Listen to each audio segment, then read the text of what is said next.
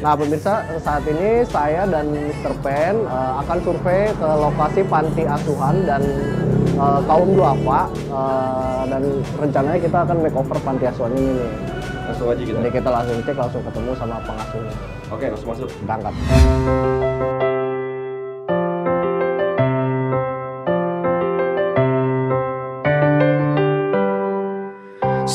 Kebetulan nih saya bawa ahlinya cat nih Pak si Mr. Pen ini dari Propan dan saya eh, minta izin untuk langsung cek kondisi di Langsung boleh, cek. Pak. Eh, bisa Cat-cat yang ada di sini boleh, Pak? cek langsung biar nanti langsung kita bisa eksekusi.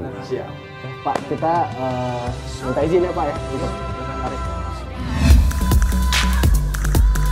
Untuk kelembapannya itu sendiri masih normal nih, masih di garis hijau. Di sini tuh banyak terdapat retakan di atas itu dan beberapa bagian udah kekelupas nih pemirsa nih. Nah, tembok ini posisinya ada di garis kuning nih pemirsa. Kelembapannya itu bisa dikerok dulu atau tidak nih pemirsa. Nah, Mr. Pen pilih nggak usah dikerok, langsung aja pemirsa. Sebelum melakukan cat finish, Mr. Pen akan aplikasikan ini nih, cat decor wall sealer. Nah, tujuannya ini untuk merekatkan cat lama dengan cat baru.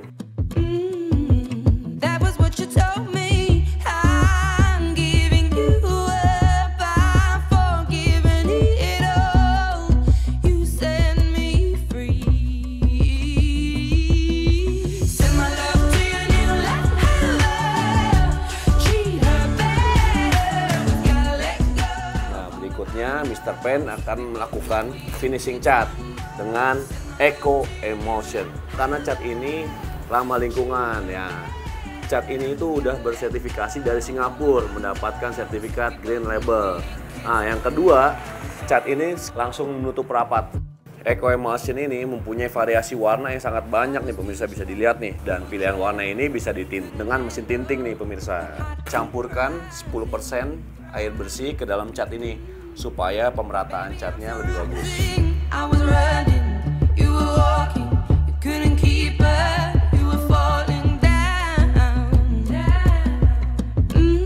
Nah, di sebelah sana Mr. Pen gak sendirian, ada yang bantuin dari tim Propan karena ruangan di sini cukup luas. Sekarang untuk pemirsa yang punya masalah dalam pengecatan rumah atau ingin berkonsultasi mengenai warna atau ingin mencari tukang yang mempunyai sertifikat, sekarang nggak usah pusing lagi karena sekarang udah ada Propan Painters. Nah, ngecat rumah tanpa resah, cari cat, cari Propan. Jadi Anda bisa bayangkan nanti warna ini akan berada di sini, tetapi kita akan beri permainan sedikit pola sehingga tidak bosan. Perpaduannya adalah warna ini dan warna putih.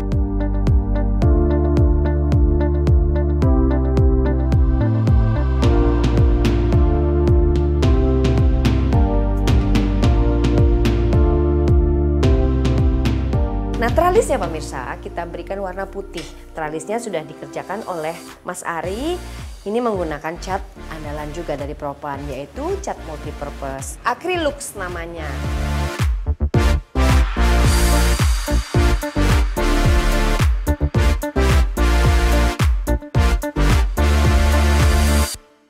Anda bisa lihat di sini pemirsa, saya memberikan sentuhan mural sedikit di salah satu sudut di ruangan panti ini. Karena memang warna-warna atau mural berbentuk seperti ini bisa membangkitkan daya kreativitas dan imajinasi anak-anak.